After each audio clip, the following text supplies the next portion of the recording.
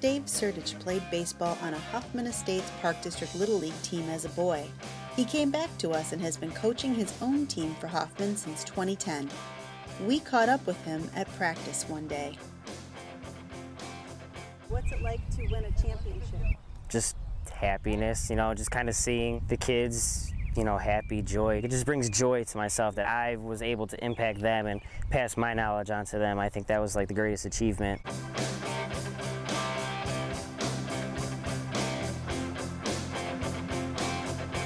I've been coaching for four years. We won the championship the first three years I did it, and this is the first year that we've actually integrated with some of the other districts. The reason why I'm coaching now is because I've you know been playing ever since I was eight years old. Stopped playing about three years ago. Had three shoulder surgeries just due to birth defects. Nothing that baseball has done. What is it that you love about baseball? Just being outside. I'm more of an outdoor person, and that's what I love. Just being in the sun, getting dirty. You know, not having your parents yell at you.